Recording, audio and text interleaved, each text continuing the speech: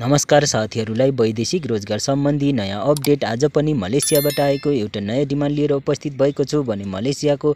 Corpus एमएसडिएन बिएसडी कम्पनीबाट चाहिँ एउटा नयाँ डिमान्ड आएको छ भने यो डिमान्डको पूर्व स्वीकृति मिति रहेको छ दुई हजार उनासी छ महिना एघार गते रहेको छ भने यो डिमान्डको लट नम्बर रहेको छ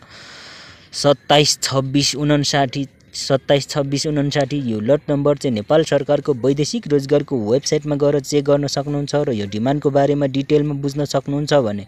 यो कम्पनीले चाहिँ फ्याक्ट्री वर्कर म्यानुफ्याक्चरिङ सेक्सनको लागि एक सय पच्चिसजना पुरुष कामदारको डिमान्ड पठाएको छ भने यो कम्पनीकोमा चाहिँ तपाईँहरूको पन्ध्र सय रिङ्गेट आठ घन्टा छ दिनको स्यालेरी हुनेछ भने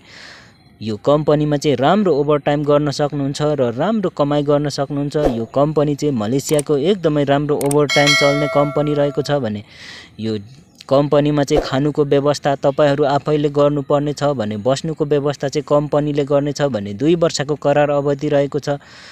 अनि यो डिमान्डको प्रि अन्तर्वार्ता मेन पावरको कार्यालयमा धमाधम भइरहेको छ भने अहिले नै तपाईँहरूले तुरुन्तै मेन पावरलाई सम्पर्क गर्न सक्नुहुन्छ भने यो डिमान्डको फाइनल अन्तर्वार्ता चाहिँ अक्टोबरको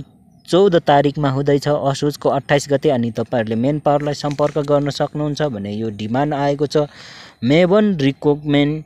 सर्भिस प्राइभेट लिमिटेडमा आएको छ भने यो मेवन रिक्रुटमेन्ट सर्भिस प्राइभेट लिमिटेड चाहिँ सिनामङ्गलमा रहेको छ तारा हल चकमा रहेको छ भने यसको सम्पर्क नम्बर रहेको छ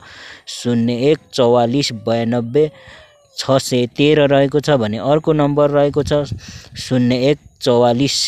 चौरानब्बे एक सय त्रिहत्तर रहेको छ भने यो नम्बरमा सम्पर्क गरेर यो डिमान्डको बारेमा डिटेलमा बुझ्न सक्नुहुन्छ भन्दै मेरो भिडियोलाई अहिलेसम्म लाइक गर्नुभएको छैन भने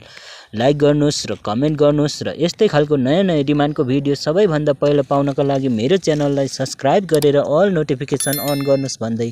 बिदा हुन चाहन्छु। हस् त बाई